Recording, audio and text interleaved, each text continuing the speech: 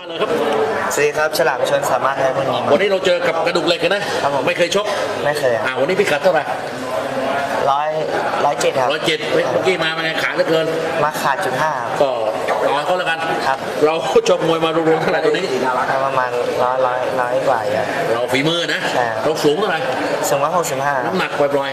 ห้าสิบกิโลๆอายุปีนี้สิบเก้าปีครับซ้อมอยู่ที่สายไหมใช่ป้ามาใครในค่าย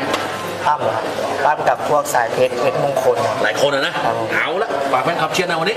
ฝากแฟนคลับเชียร์ผมด้วยครับ วันนี้ผมต่อยคู่แรกเป็นกำลังใจให้ผมนะครับตอนนี้ก็จะทำให้เต็มที่ครับผมทาง รายทีวีนะครับ โอเค ไม่มีไม่มีช่องอะในน้ำตัวเลยมาดูเด็กน้องเชียร์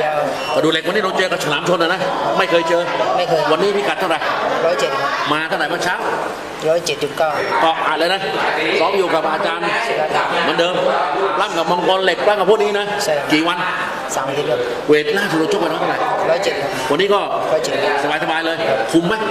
สามกิโลสามโลสบายสบายๆเราชกมวยวันนี้ร้อยกว่า มีแน่นอนนะนะสามไฟล์หลังนี่เป็นไง ยกเลิกมาที่ที่ไหน